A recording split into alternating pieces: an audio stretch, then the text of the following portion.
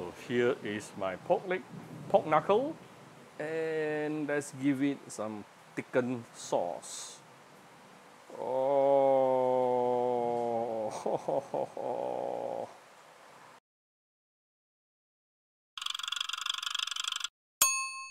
Cooking up. Hi, this is Cooking Appa. Today I'm going to make Heng Cai Jiu Shou, which is a very popular Chinese dish. Um, it's also called Yun Tai, yeah, Hong Xiu Yun Tai in Cantonese, braised pork knuckle. Now, the, the probably only challenge in this particular dish is how you can make the whole pork knuckle here to be super soft and tender and melt in your mouth, especially the beautiful collagen uh, skin. All right. So what you do here when you buy, uh, I'm actually using a pork front leg, which is somewhere, um, somewhere around one kg. I ask uh, why I choose front leg is because front leg is actually uh, smaller, uh, so that it's easier for me to cook and and and manage uh, inside my kitchen. Um, I actually gotten the butcher. I told them that I'm, I told the butcher that I'm going to make a braised pork knuckle. Therefore, he somehow trimmed the knuckle for me also. See, nicely trimmed. And he, what he did was he also removed part of the center bone inside uh, for me, which is very good, which will come very helpful later when we eat. Yeah. So, and the most important part here is actually for you to blanch you need to blanch. I'll show you how to blanch it shortly, but you need to blanch. You cannot skip the blanching process because if you don't blanch your meat, it's going to be extremely gamey. Yeah? What you do is prepare a pot of cold water, put in the pork leg and also put in some ginger and uh, also uh, rice wine. Then uh, boil everything up. Uh, once it is boiling, allow it to boil for a couple of maybe about three to two, three minutes then you're going to see all these scums coming up. Ah, these are the source of gaminess of your pork. So what you do next is very simple. Take this out and also uh, rinse it thoroughly. Then the blanching process is done. So uh, then what? How do we make the braised broth? It's not too difficult. Uh, you will. These are the simple ingredient that you need.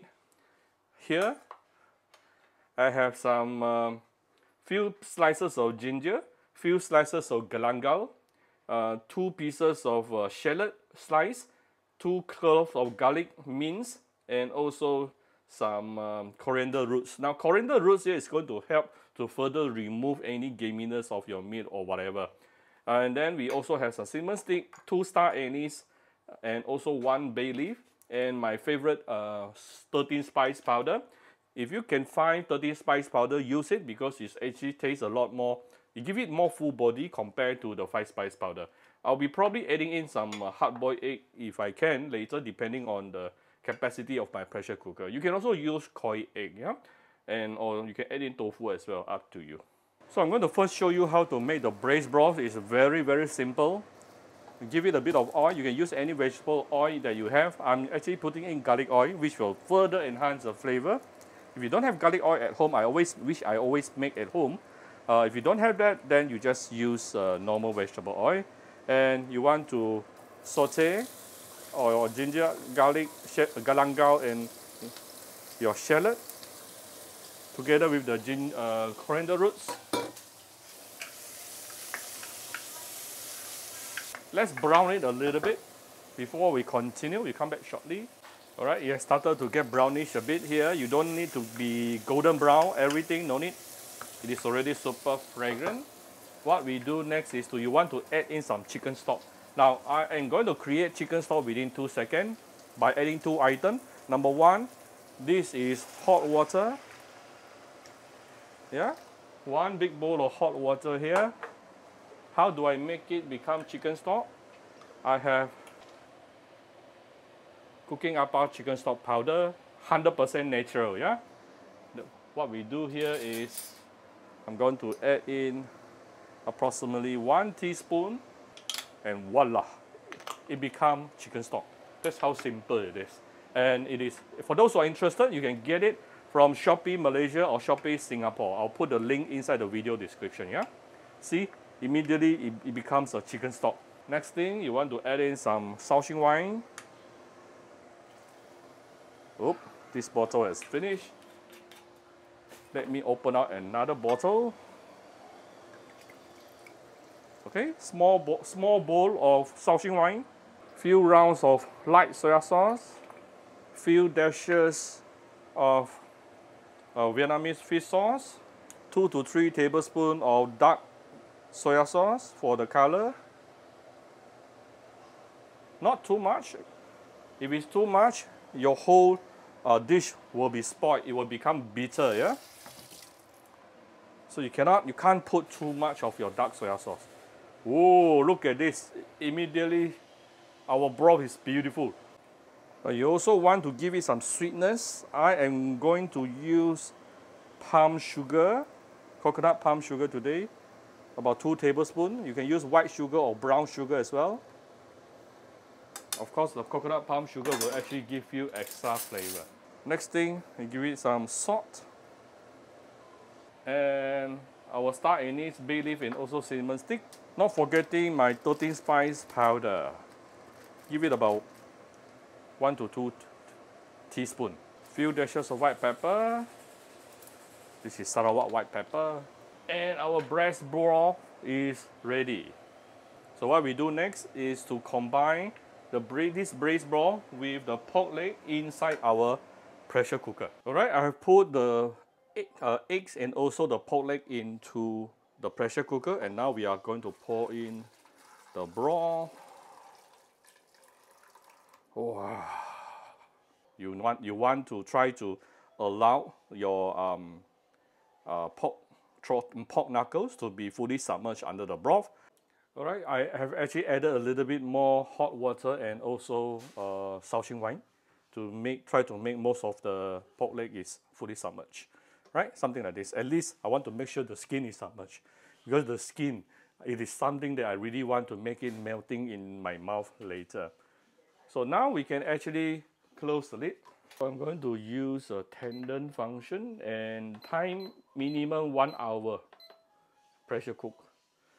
If you are if you have chopped your pork leg into smaller pieces, then 30 minutes is good enough using high pressure. Uh, but when you're cooking the whole piece of the knuckle, then you need minimum one hour. So this is when you are cooking using uh, pressure cooker. If you are not using pressure cooker and using the normal pot, then what you probably need to cook up to two minimum two and a half to three hours before you can make it really really tender. This is why Appa always like to use pressure cooker. It saves a lot of time. Now we all we need is just to sit back and wait for it to be done. All right, this is after one hour plus. Not sure you can hear it's raining like cats and dog outside. Um, the pressure has been released. Uh, usually when you're using a pressure cooker, there are actually three steps. The first step is for the pressure cooker to build up the pressure. Second step is to cook uh, pressure cook the, the food. Third step is for the pressure cooker to release the pressure. So if you pressure cook for one hour, you need you do need one hour plus for the whole process to be completed. Still, it is it is uh, it will cut your normal cooking time by at least half. Uh, if I don't use pressure cooker today, my cooking time will be three hours easily. Okay, I'm not sure you can see this clearly. Let me take it off for you. Ooh.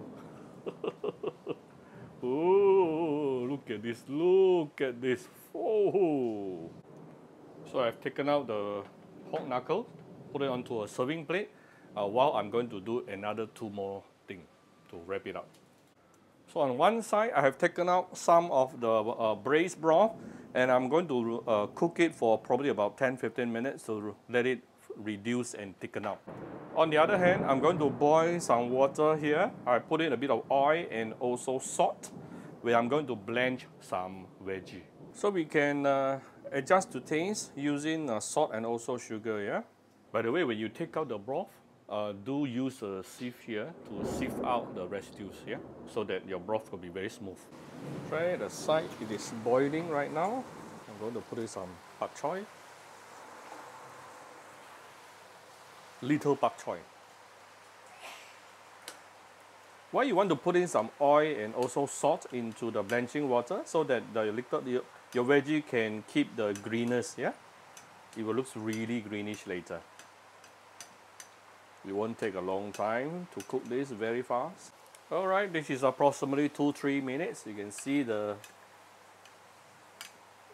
veggie is cooked, but it still remains greenish color. Then you can actually take it out. We shall garnish it with the veggie here. Go one round.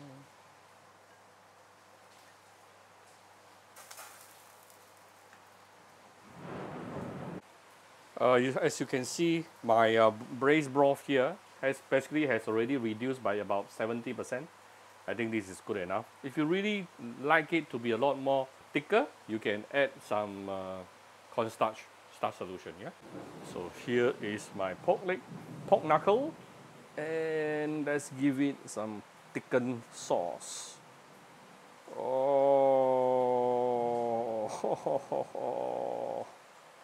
oh, with this beautiful dish, you know this is going to be a beautiful 2023 ahead for all of your family members. I hope you like my very simple video today, CNY reunion uh, dish. If you like my video, do share my video on your Facebook to your friends. Come to Cooking Appa Facebook fan page to click like and follow button. Follow Appa on Instagram and subscribe to Cooking Appa YouTube channel.